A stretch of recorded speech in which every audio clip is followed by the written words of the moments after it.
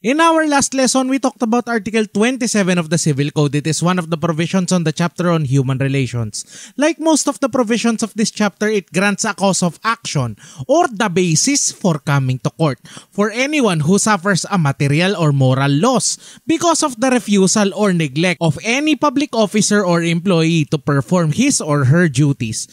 Article 27 applies to instances of non-feasance or the failure or refusal to perform one's duties duties. Nonfeasance is just one kind of misconduct committed by public officers. The others are misfeasance and malfeasance. Last time we also discussed the distinction between ministerial duties and discretionary duties of our government officials. Ministerial duties are those which government officials are bound to do given a set of facts and circumstances. These acts, unlike the discretionary duties, do not require the exercise of discretion or judgment. The distinction is important because the law provides a remedy to compel a public official to perform a ministerial act. When a person suffers moral or material loss as a result of an official's refusal to perform a ministerial act, the remedy is the special civil action for mandamus and damages as provided under Article 27. Today we're taking a look at Article 28 of the Civil Code or the provision prohibiting unfair competition. Again, this is one of the provisions that's treated as a reading matter kapatid but you will see this again when you get to intellectual property law and in Civil Law Review 1. By the end of this lesson, you should be able to 1. Define unfair competition within the context of Article 28 and the Intellectual Property Code. 2. Enumerate instances where this provision applies. 3. Cite the remedies allowed under Article 28. All of this and more coming right up! Hi, my name is Lex and welcome to Lex in Motion. In this channel, I'll be helping you build your competence, confidence, and capability in law school. Start today by hitting the subscribe button below. New episodes are posted every Friday.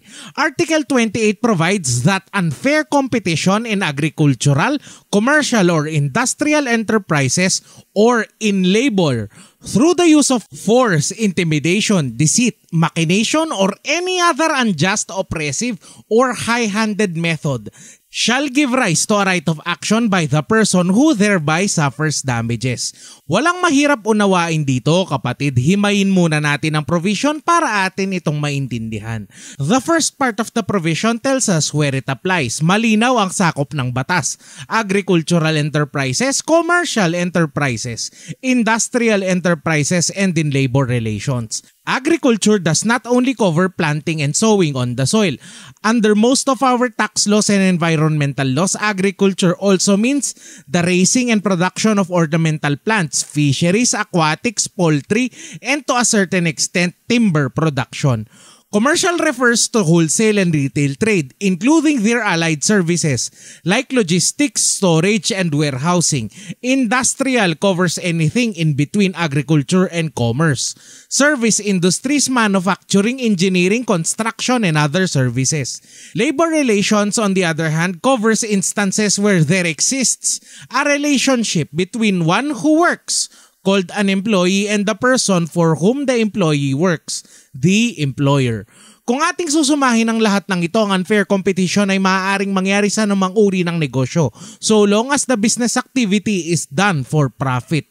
Unfair competition is committed through force o paggamit ng karahasan, intimidation o pananakot, deceit o panloloko, machination or manipulation or any other unjust, oppressive or high-handed method.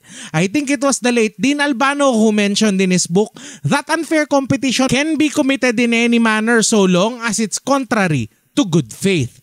In his book, Justice Paras gives us examples of unfair competition.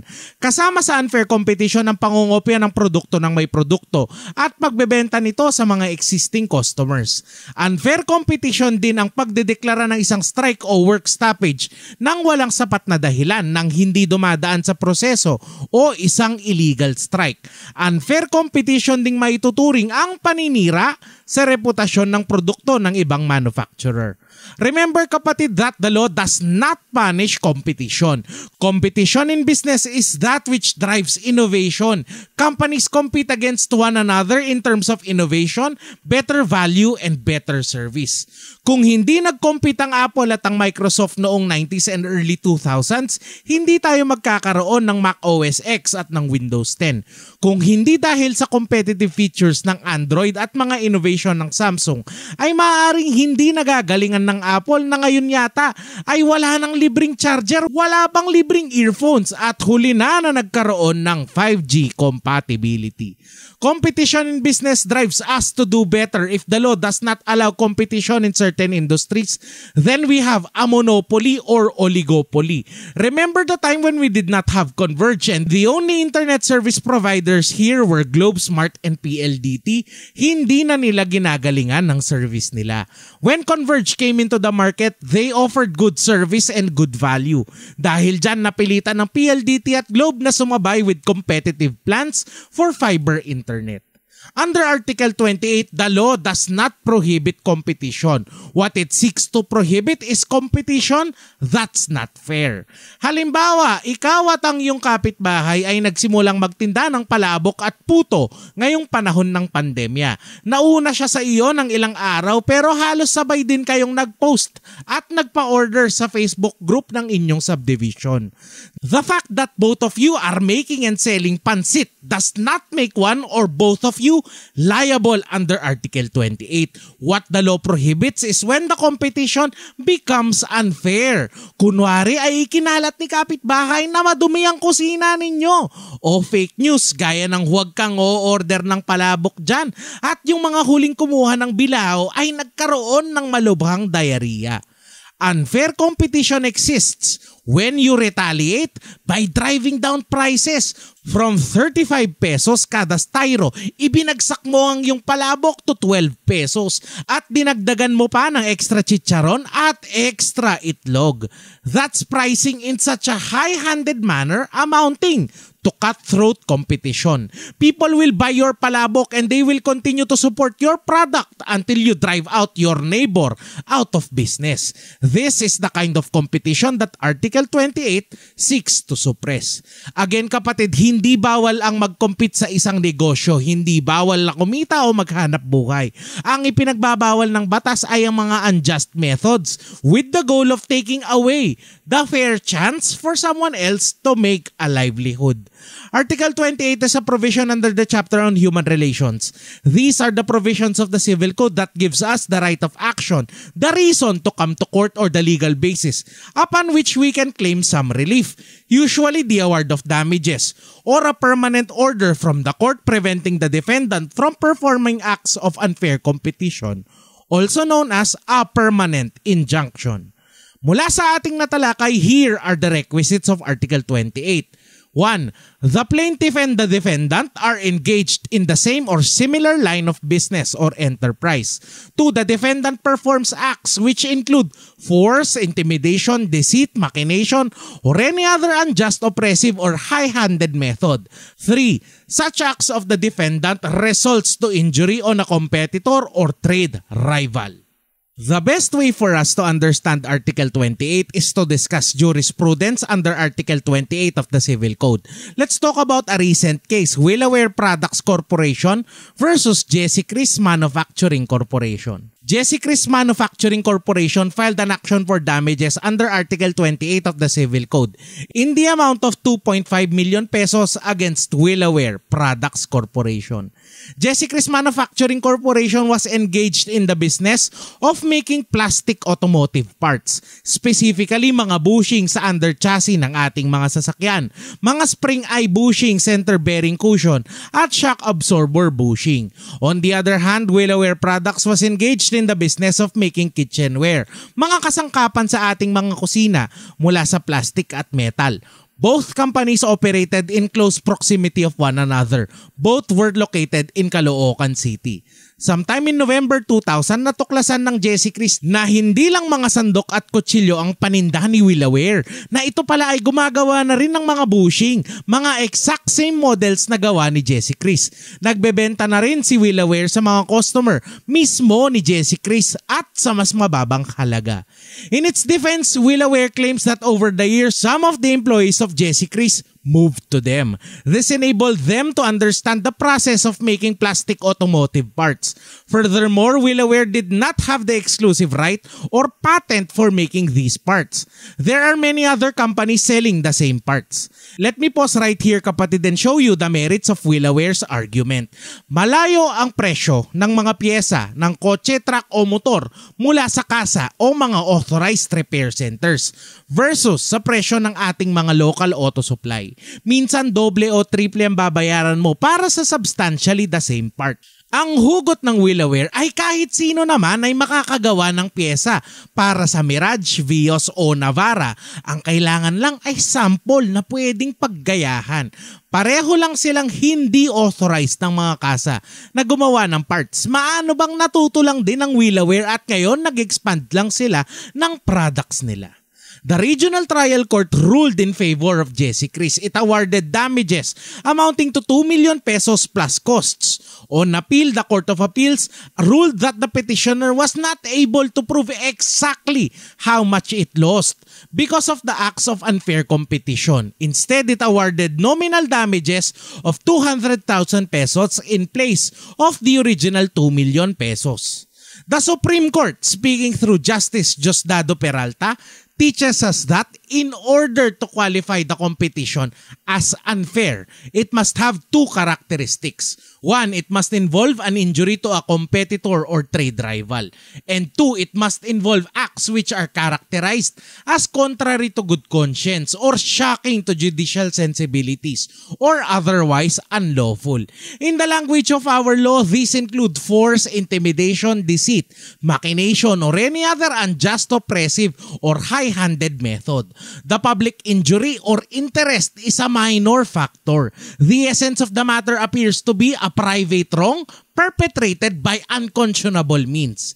Here, both characteristics are present. First, both parties are competitors or trade rivals, both being engaged in the manufacture of plastic-made automotive parts. Second, the acts of the petitioner were clearly contrary to good conscience, as petitioner admitted having employed respondents' former employees, deliberately copied respondents' products, and even went to the extent of selling these products to respondents' customers. Kung hindi man i-discuss sa klase mo sa person sa Article 28, kapatid, sigurado ako, ito ay inyong babalikan sa inyong klase sa Intellectual Property Law. Iba ang definition ng Intellectual Property Code sa unfair competition. Unfair competition has been defined as the passing off or attempting to pass off upon the public of the goods or business of one person as the goods or business of another with the end and probable effect of deceiving the public. The essential elements of unfair competition are one, confusing similarity in the general appearance of the goods and two, intent to deceive the public and defraud a competitor. In unfair competition under the IP code, there are two companies manufacturing the same goods and one of them copies or uses a similar appearance with the intention of deceiving the public. Halimbawa kapatid, bago ko nakilala ang aking asawa ay hindi talaga ako kumakain ng gulay. Except, one, yung kapirasong dahon na nasa loob ng Jollibee Champ. Pangalawa ay ang snaku. Dahil ito ay vegetable crackers, technically sa isip ko ito pa rin ay gulay. Whenever I visit the groceries, sure ako nakukuha ako ng snaku. There was this one time kapatid when I saw a green package. Kumuha na lang ako ng dalawang supot. Nagmamadali na ako nun kapatid. When I reached the cashier, laking gulat ko na hindi pala ito snaku, kundi chichirya na gawa sa green peas. Other products na nakikita kong hawig ang logo at design ay ang Mafran at Jufran na ketchup. This is a long long case kapatid and we will discuss it in later episodes. Confusingly similar din sa aking paningin, possibly dahil na rin sa aking gender. Ang packaging ng Sisters, Charmy, Modest at Kotex. Lahat yan sa aking unang tingin ay iisa. Unless hihinto ako at akin itong tititigan. There is another provision on unfair competition in our laws and that is Article 189 of the Revised Penal Code. Hindi na ito masyadong tatalakayin sa Criminal Law 2 pero ito ay inyong pag-uusapan sa Intellectual Property Law. Article 189 punishes any person who, in unfair competition and for the purposes of deceiving or defrauding another of his legitimate trade or the public in general, shall sell his goods, giving them the general appearance of goods of another manufacturer or dealer, either as to the goods themselves or in the wrapping of the packages in which they are contained, or the device or words thereon, or in any other features of their appearance, which would be likely to induce the public to believe that the goods offered are those of a manufacturer or dealer, other than the actual manufacturer or dealer, or shall give other persons a chance or opportunity to do the same with a like purpose. Sa ilalim ng Article 189, bawal ang pagbebenta ng clone ng isang bagay, either clone ng mismong product or clone ng packaging or both. Recent na mga halimbawa na nakikita ko sa Facebook ay ang mga clone ng mga barena at grinder ng makita.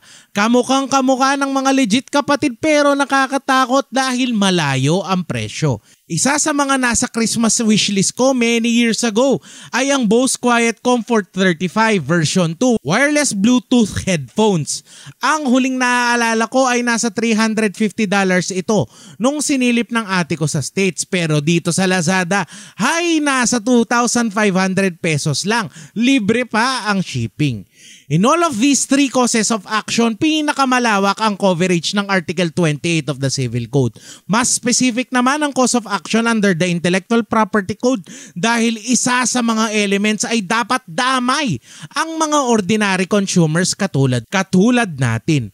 Finally, unfair competition under the revised penal code is no longer just an action for damages, but it's a criminal case. To summarize tonight's lesson, number 1, Article 28 prohibits unfair competition in agricultural, commercial, industrial enterprises as well as in labor. 2. There is unfair competition when a person performs an act contrary to good faith in the course of trade or business. 3. This act must result in the injury of a competitor or trade rival. 4. The broadest cause of action under unfair competition is found under Article 28, not those in the IP Code or the RPC. That's it for unfair competition kapatid and I hope you learned something new in the last few minutes. There is a short quiz for me to know if you have understood the lesson. You can find that in the description down below. If you would like us to continue these lessons on persons and later on family relations, please type yes in the comments down below. Thank you so much for watching. Like and share this video for Good Law School Karma and I will see you next Friday.